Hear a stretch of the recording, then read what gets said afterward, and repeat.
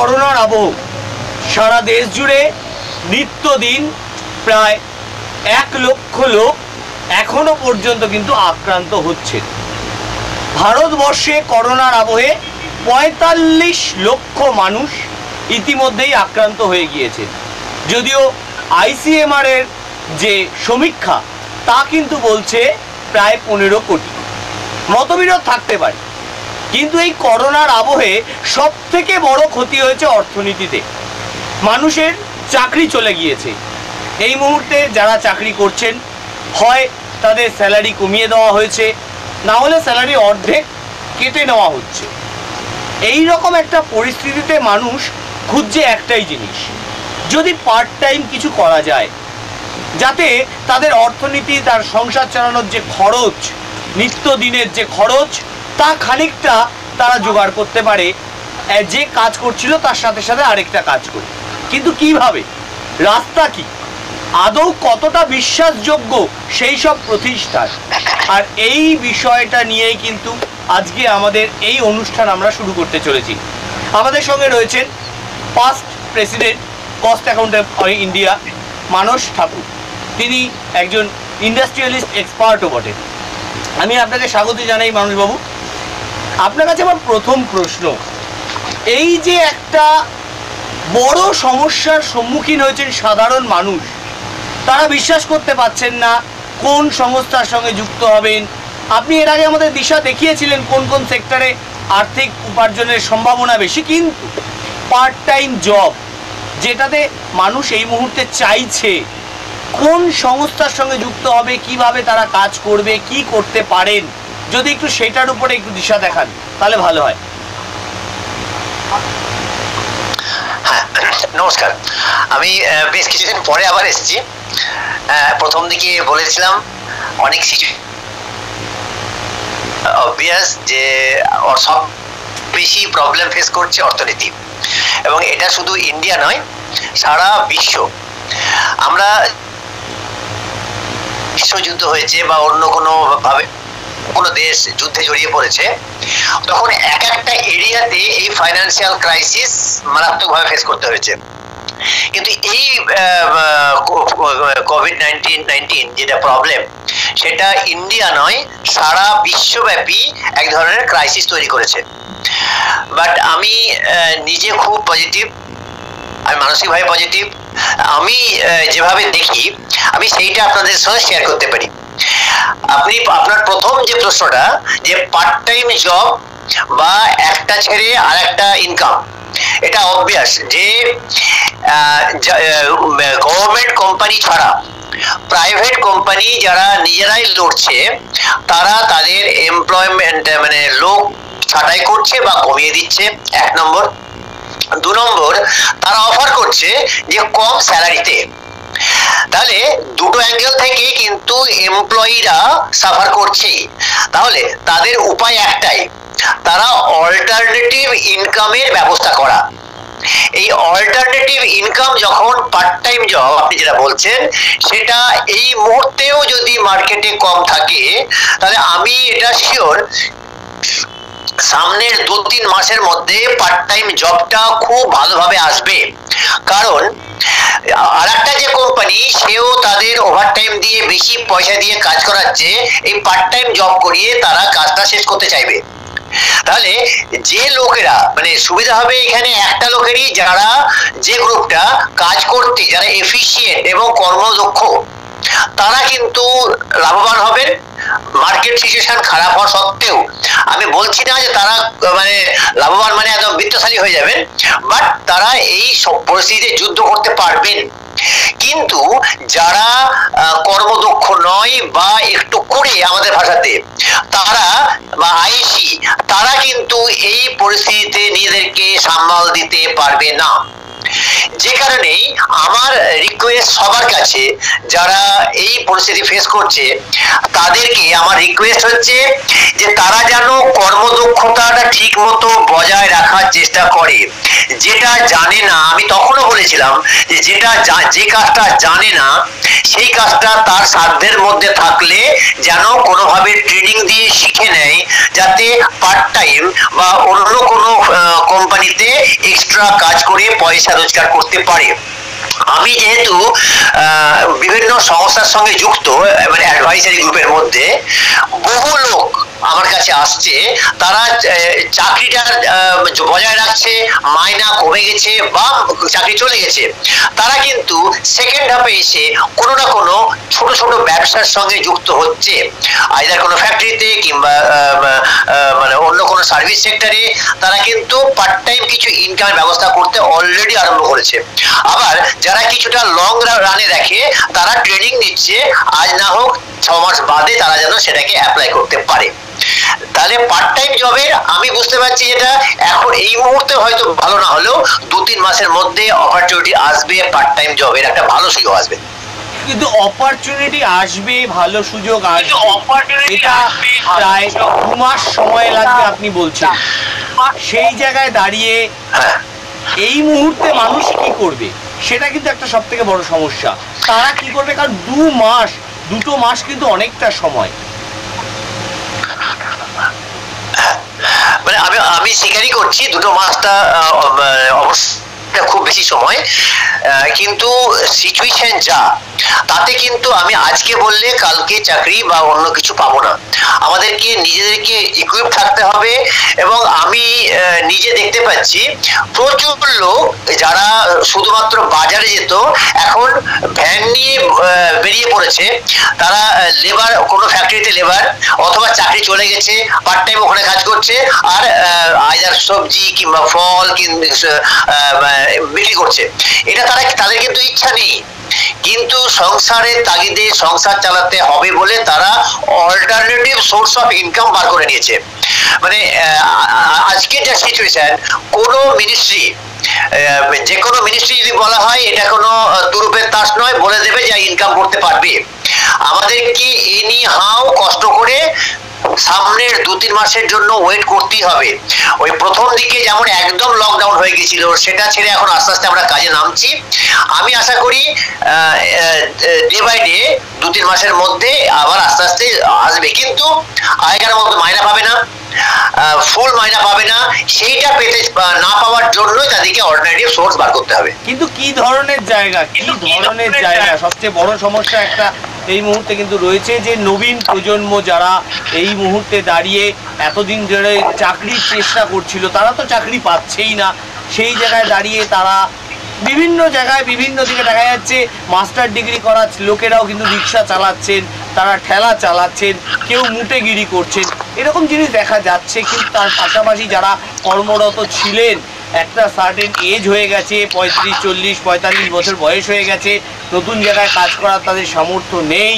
এই রকম শ্রেণির লোকেরা, তারা কি ধরনের দিকের উপর এগোতে পারবেন? যারা ক্ল্যারিক্যাল জব করে এসছেন এতদিন।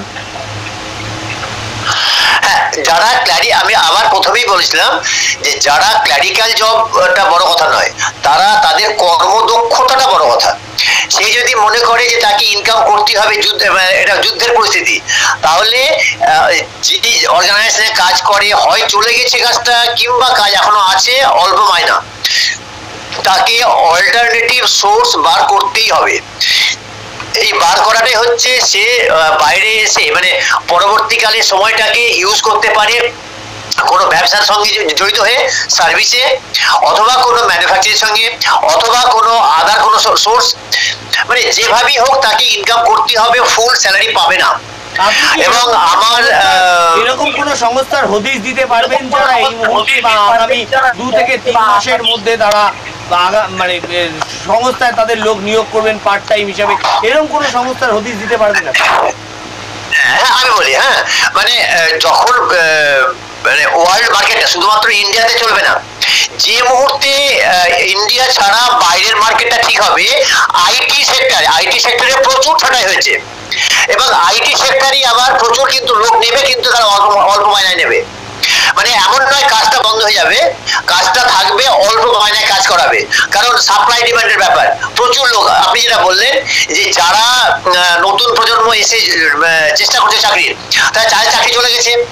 আগের ব্যাচের চাকরি চলে গেছে, এই এরা চাকরিতে ঢুকছে, তাহলে যেহেতু সাপ্লাই বেশি ডিমান্ড কম, সঙ্গে সঙ্গে এই যারা এমপ্লয়ার তারা কি করছে? তারা মাইনাটা কমিয়ে দেবে। তাদেরকে কম স্যালারিতে ঢুকতে হবে। এবং তাদেরকে যদি স্টে করতে হয়, তাহলে তাদেরকে আবার একটা পার্ট টাইম জব করতে হবে। আমি বলছি, যেমন মানে সার্ভিস সেক্টর সবাই সার্ভিস সেক্টর আইটি সেক্টর আসবে বিপিও আসবে কেপিও আসবে হ্যাঁ এরা প্রত্যেকেই কিন্তু তিন চার মাসের মধ্যে আবার আস্তে আস্তে মার্কেটে আসবে এবং তারা পার্ট টাইম জবই নেবে।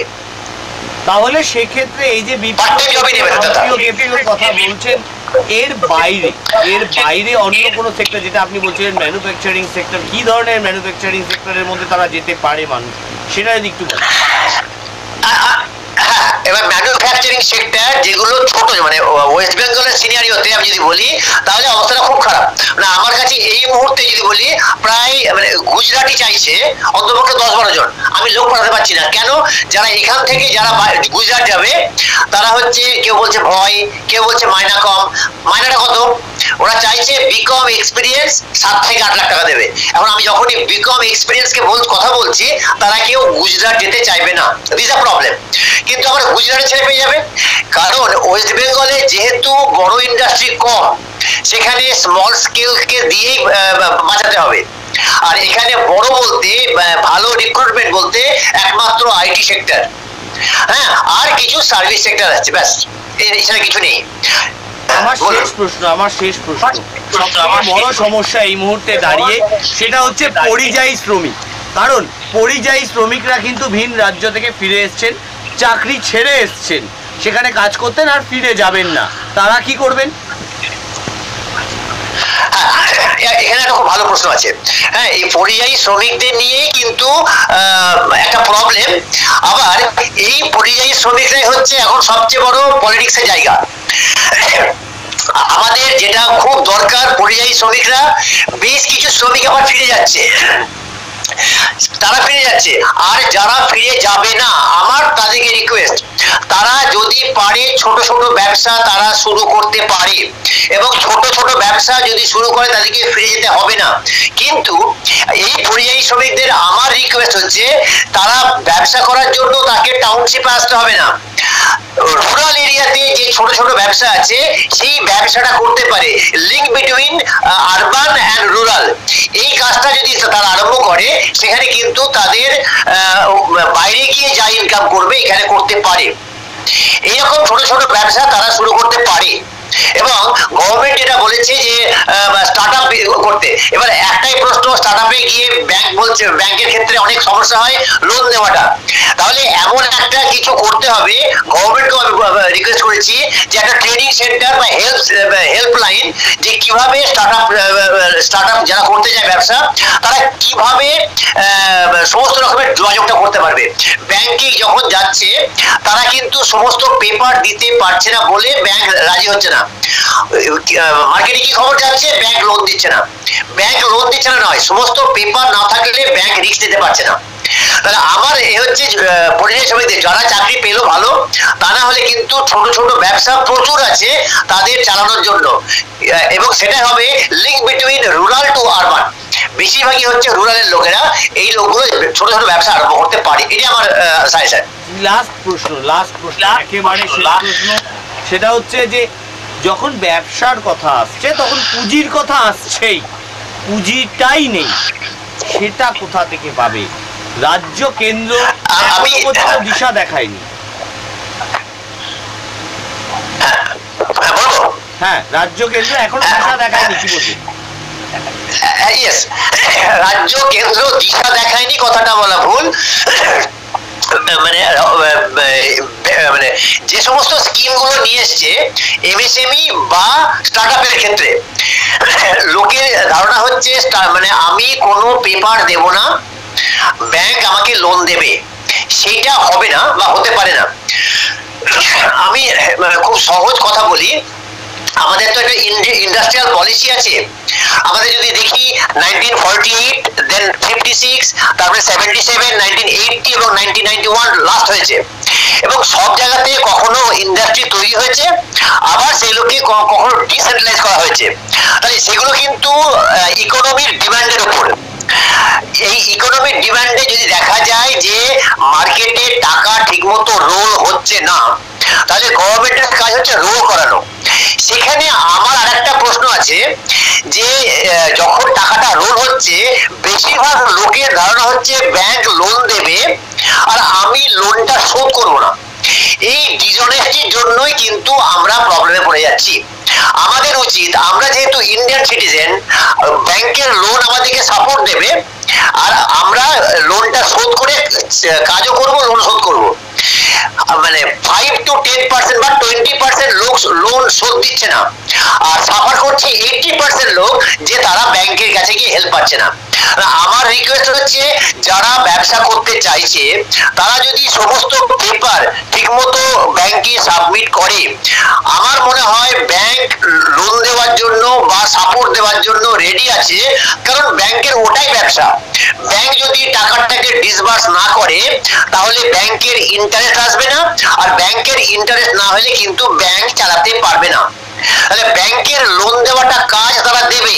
আমাদের কাজ হচ্ছে প্রপার প্রপার ওয়েতে গিয়ে সমস্ত পেপার সাবমিট করে লোনটা নেওয়া এবং ঠিক মতো সময়ে লোনটা শোধ করা।